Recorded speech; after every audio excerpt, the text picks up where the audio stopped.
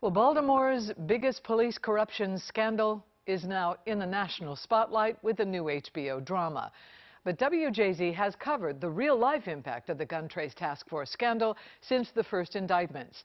In all, 13 officers brought down for robbing citizens, falsifying reports, and trying to cover it all up. WJZ investigator Mike Hellgren has covered every angle of this corruption. He is live downtown and has a look at where the main officers convicted in the probe are now. Mike? Denise, two of them have already been released from prison, serving less than five years of their seven-year sentences.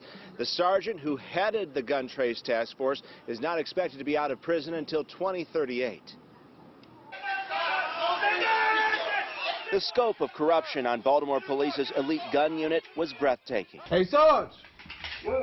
Hey, come downstairs right quick. The GTTF stealing hundreds of thousands of dollars from citizens and then staging videos like this after they'd cracked open a safe and taken the money to cover their tracks. Nobody touches you, understand me right now. Sir, do you understand your rights? Ringleader, former Sergeant Wayne Jenkins, admitted committing multiple armed robberies and stealing more than $1 million in drugs. He's serving the harshest sentence, 25 years in a Kentucky prison, yet not interested in telling investigators what really happened. He was much more interested in, you know, having a movie producer come in and sit with us during the interview. So, and and a guy who, who passed himself off as Jenkins's representative, who was not a lawyer, was actually one of his former cellmates uh, drew this out for over a year. Former detectives Daniel Hersl and Marcus Taylor were the only two not to accept a plea deal and go to a jury. Both got 18-year sentences. Hersl shared letters with WJZ where he still proclaims his innocence. I'm with uh, Detective Rayam here, approaching his field, his Honda minivan. Everything's up here. Jemell Rayam is serving 12 years and is currently in a secure medical detention facility in Minnesota.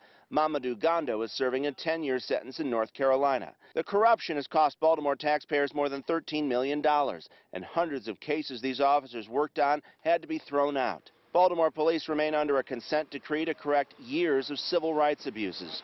In a one-on-one interview this week, the commissioner told WJZ he's committed to reform. We are retraining, relearning, and reteaching a better way to deliver police services here in Baltimore. And there are still ongoing prosecutions linked to the gun trace task force. Another supervisor, Sergeant Thomas Allers, is currently serving a prison sentence in Florida. Uh, his sentence was 15 years behind bars. Reporting live downtown, Mike Hellgren, WJZ.